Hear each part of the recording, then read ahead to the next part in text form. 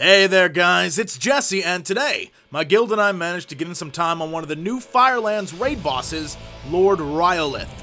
Much like the previous boss we tried, the Spider Beth'tilac, this boss has a lot of mechanics issues to still work out, but for what it was, it seemed like a pretty cool concept. When you first engage Rhyolith, he will only have a small amount of health by raid standards. We're talking like 15 million HP, but his legs each have around 7.5. I'm not sure how it all factors in together, but I can tell you this, it seemed like he was redistributing the health between his legs and his body, so either his legs make up his body health, or it's all connected. I'm not really sure about that yet. The major thing here, though, is Obsidian Armor, which buffs the boss at the start of the fight, decreasing your damage on him by 80%. Now, you'll notice there's a meter on the screen, and while I'm pretty sure it's a temp one, the idea is that the boss attacks you moving around really, really slowly, and if you hit his feet, it changes the direction he moves. Now, this meter is supposed to tell you which direction he's going towards, and you're supposed to keep him from going too far in one direction, because if he goes too far, he'll hit the lava, and if he hits the lava, he explodes onto all of you and wipes the raid. So you need to keep him moving around the platform by turning him so he doesn't hit the outside area. The biggest issue we found though is his turning rate is so slow. If you try to like make a quick cut and turn or uh, whack his leg a bunch and think he's gonna move really fast, he won't. He takes his time moving.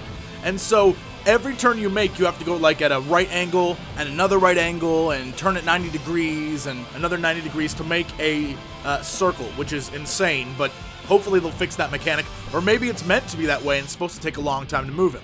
Anyway, what we figured out is if we could put two rogues on one leg the entire fight and just have them whack at it repeatedly, it would essentially move him in one circular direction around the platform, and it worked for a little bit, but eventually the circle would get like way too wide and he'd end up in the lava, or the circle would start out wide originally, and so he'd track like right into the lava right away. It did not end well for us.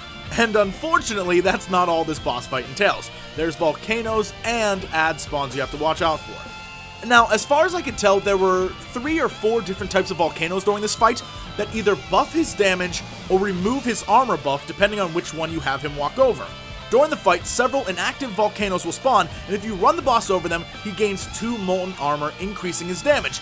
But they will be crushed, opening up, creating a new type of volcano that if he walks over it again, the boss will lose 10% of his armor buff. But these open volcanoes will spit out lava and, and flaming rocks and all sorts of stuff you have to avoid. There's another type of volcano that spawns that sort of is a, a pillar, and it shoots out tendrils of fire in a star pattern shape.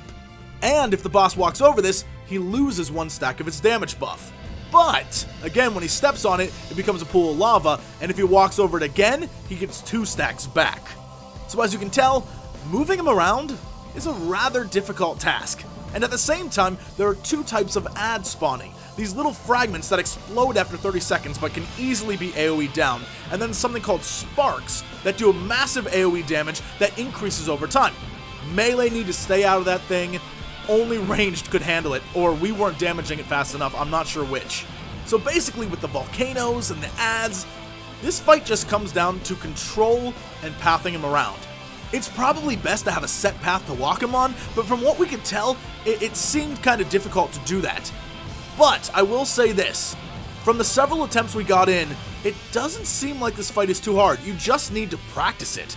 He does have a phase 2 at 25%, but as far as we could tell, it was just a DPS race to the end, and you really just had to ensure a good transition. All in all, it seems like a pretty interesting fight, but I think I can safely say this will be the one that everyone takes down first. It doesn't seem that hard, you just need to practice and practice, and eventually you'll get it. Anyway, that's it guys, thanks for watching, thumbs up, subscribe, and as always, to be continued.